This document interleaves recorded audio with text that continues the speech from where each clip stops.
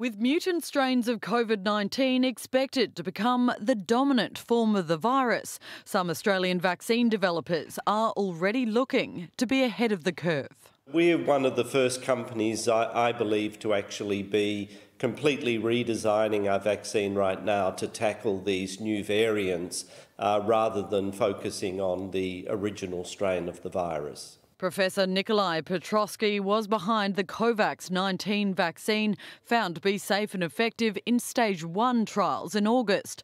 Now his team are starting all over again to target those mutant strains. If we have, have the appropriate support, we believe you know we could have uh, a vaccine against the variant strain uh, developed uh, uh you know this year. Pfizer says lab testing of blood samples from people inoculated with their vaccine show it is still effective against the UK strain.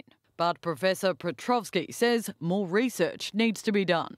We don't know how that translates into the actual biology uh, you know, in the humans. Uh, is it going to be effective or not? We, we can't really say yet. At this stage, we haven't seen anything to suggest that the current vaccines will not work. The leading vaccines at the moment are based on inducing immunity to the spike protein. So if there are mutations in the spike protein, that could potentially affect the immunity from the vaccine. It comes as Victorian officials confirm three of the nine people connected to the Australian Open who've tested positive have the more infectious strain.